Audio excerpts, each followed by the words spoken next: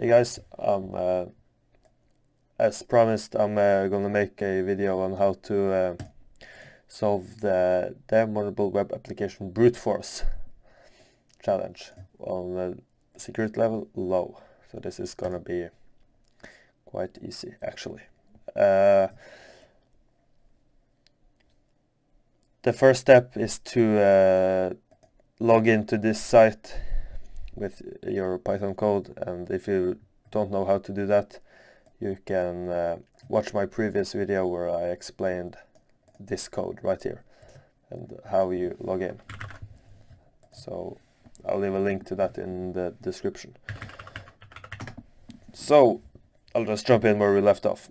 We're now logged into the index.php page and uh, we're planning now to just navigate to the brute force page. And the way you do that with uh, soup is to uh, do browser dot follow link. You'll have to find out what the link is so right click and inspect and find this line of code here. So the link here is vulnerabilities slash brute like so. So our uh, Python program has now reached this page and we can use the same uh, the same method to uh, lo log into this form uh, as we've done with uh, the previous form except we just just don't know the password. So right click inspect find out what the form is called. See where the action like that. So you can just actually copy this. Or first of all we need to uh, create a password file. Uh, in a real case scenario you'll probably use something like uh, dark code or uh, another uh, list of uh, a bunch of normal passwords. But in this example we're gonna use a small file that I'm that I'm uh, making right now. So this is my uh, password file. I'm gonna maybe a abc123 test path. 123 password. And uh, so some common passwords right here. I know in fact that the password is password but let's pretend I don't. Okay.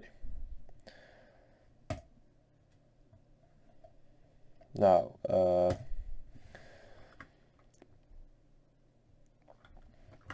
define a function called brute force and, and we'll uh, inside the function we'll have a uh, loop that uh, I have to read the file. so we'll create a list called passwords that will open up the uh, created document passwords text and read from it. So for uh, password in the password lists, we'll try to log in using the method we learned er earlier. So like this, and we notice that the form had a different name, so we'll change that. Like that. And now we'll, instead of knowing the password, we'll uh, leave it like this, so uh, it'll go through and try.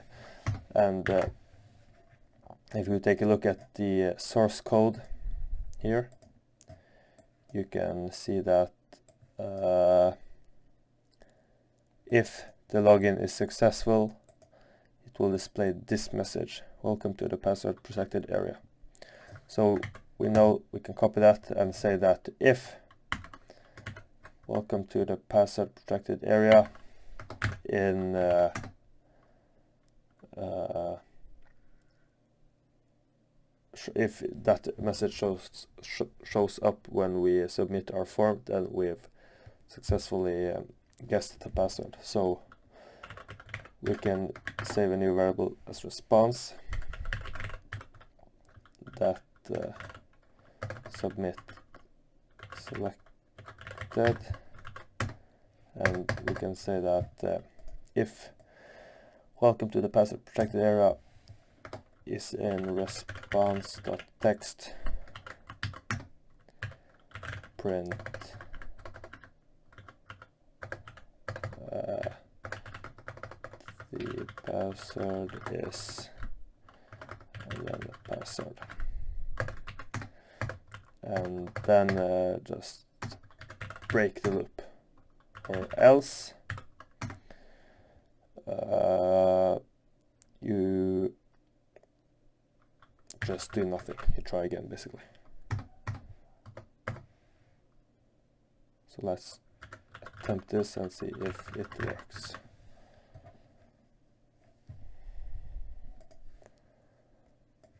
I can remove this from the code.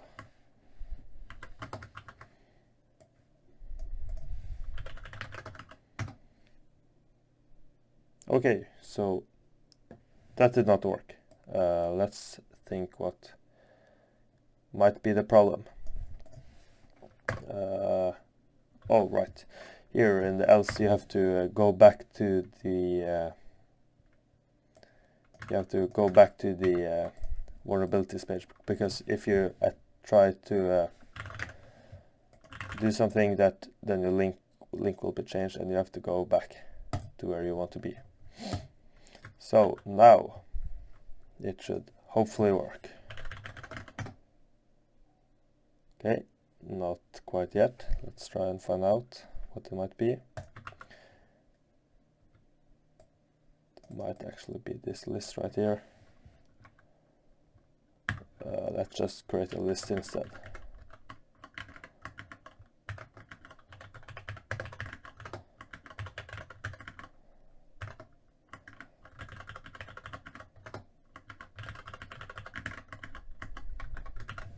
Okay, now let's try to do it. And you can see it successfully did it. The password is password. So we can now log into that user to correct the password. Thanks for watching. If you have any um, comments or questions, just leave it below and I'll try to respond.